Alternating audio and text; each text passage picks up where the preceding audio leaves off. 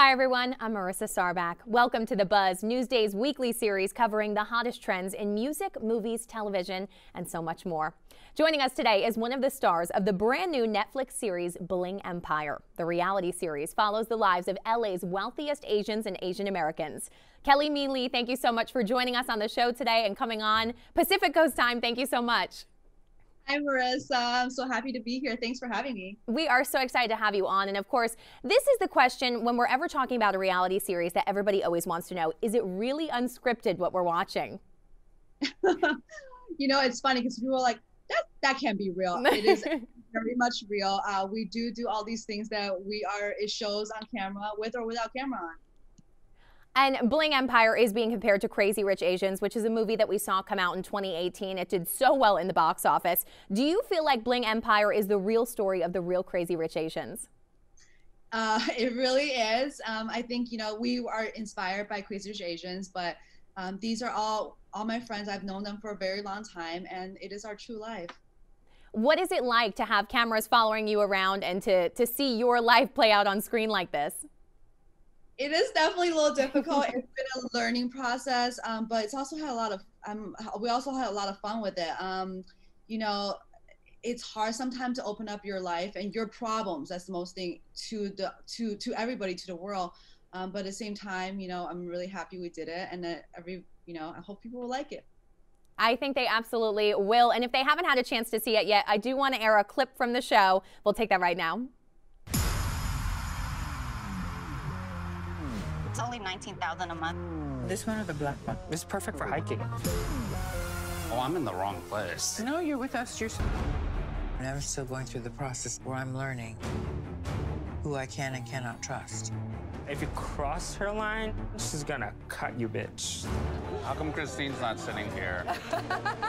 you know, people use money to test people. Oh my God, this feels so good. You're way overreacting right now. Putting more diamonds in her? Treasured. Well, Asian, we don't fight. I feel like crazy attracts crazy. drama, drama, drama is all I see right there, Kelly. Is it like that? Definitely not shortage of drama. How was it to see that, to see the trailer and to see it play out on screen? It must be such an interesting dynamic, even behind the scenes. Do you feel like we really get that on camera from everybody? Uh, you know what? It's funny because sometimes I'm looking at, like, that's not me. Is that me really on television, or is that really me? So it's been a, it's been very un- unreal, uh, surreal, and uh, yeah, I, I think everybody's everybody really enjoyed the process. Has somebody been more dramatic throughout the show? Anybody who's really the villain right now? I don't think that there's really one villain on our show, just because again, our group of friends, it's been we all been we all have known each other for a long time. We hang out regardlessly, um, with or without a show. So, you know, of course, somebody might make a mistake or say something in one episode, but we always make up. Um, and, you know, end of the day, we, we all been friends for a long time, so we're going to keep being friends. And I know I know your story is a little bit different from some of the other people on the show because your family, you didn't come from family money like a lot of the characters in the movie. Can you talk to us about really from the movie and the show? Can you talk to us about your background as an entrepreneur and investor and how you got to this point in your career?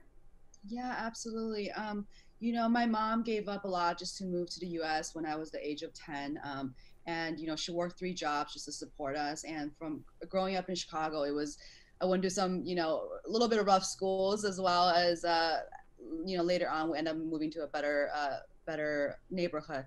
But and my mom just uh, was able to give me a lot of opportunities. I've always been, you know, entrepreneur. I've always been very independent um, I just end up, uh, I think I started my first business at the age of 23 and it just kind of worked away from there. But of course, I experienced a lot of ups and downs, uh, like every entrepreneur. But end of the day, it's just got to keep getting up and uh, keep moving forward. And I know you work as a film and television producer as well. So what's it like for you to now be in front of the camera? Was that a difficult transition?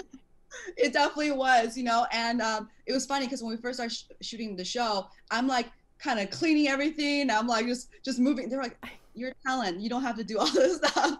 Um, so it was definitely a, a, fun. It's a fun experience uh, to be in front of camera, and I'm still getting used to it because again, I'm I'm normally I'm I'm so behind the scene. I'm normally the one that's like, you know, I'm on set, no makeup, and I'm in my you know workout clothes and ready to get to work.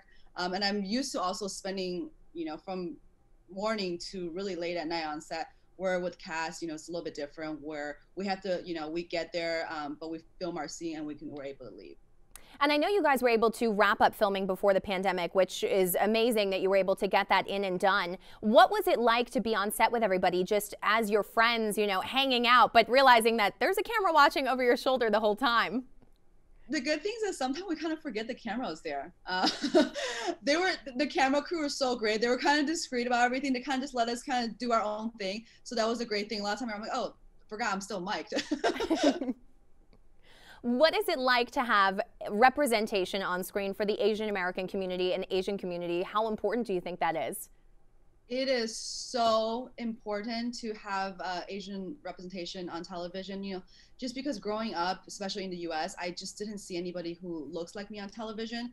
A lot of time, you know, uh, I, I, remember there was like a, a, time at a young age, they were like, which like a group of uh, friends, they're like, I think I was like probably 12 at the time, was like, what's let's let's play a game. What celebrities do you look like? And I'm like, uh, I have Lucy Liu to pick from. I don't really have anybody else to pick from. I mean, Lucy Liu is great. I love her, but at the same time, I want to have a little bit more variety. So, um, you know, Asian is one of the most underrepresented uh, culture or group in in uh, mass media. So I'm just we're really hoping this show will add to it. You know, with the Fresh Off the Boat and Crazy Asian doing so successful, uh, this so success so successful uh, that we hope that this one will be the next one. Yeah, and hopefully little girls like what you were originally watching on television can say, Kelly looks like me, you know, and, and it does matter. It makes a difference. Absolutely. What do you think the reaction's been from the Chinese community back? I know you're from a small town in China, or really even from your family. It's more of a low profile culture, if I'm correct. And here the show is very ostentatious. Absolutely you know, growing up, the Asian culture is that, you know, you don't really talk a lot about your struggles. Everything, the surface has to be perfect. Um, you don't air out your dirty laundries. But at the same time, you know, for us, if we don't share, if we're not vulnerable, we can't change the future. We can't inspire the future generation. Um, one of the such a funny thing was that, you know, up to the age of, uh, till I'm 30 really, that I didn't realize it's okay to cry because it's always been taught crying is a weakness in private as well as in public. It's embarrassment. It's it's a uh, it's it's uh, it's weakness. It makes you look bad.